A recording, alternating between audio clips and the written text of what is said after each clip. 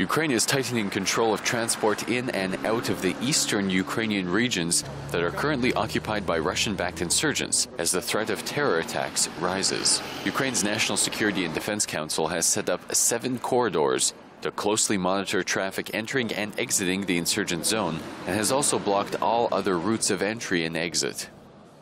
Ukrainian authorities advised that vehicles and people crossing through these corridors would be thoroughly checked a move which appears to be one more step towards a de facto border separating Ukraine proper from insurgent held regions.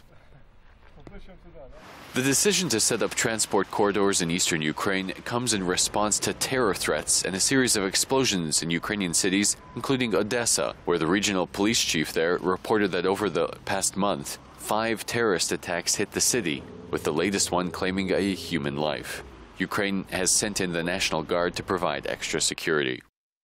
Last week, Ukraine suspended its train service into and out of Russian occupied Crimea, citing security concerns.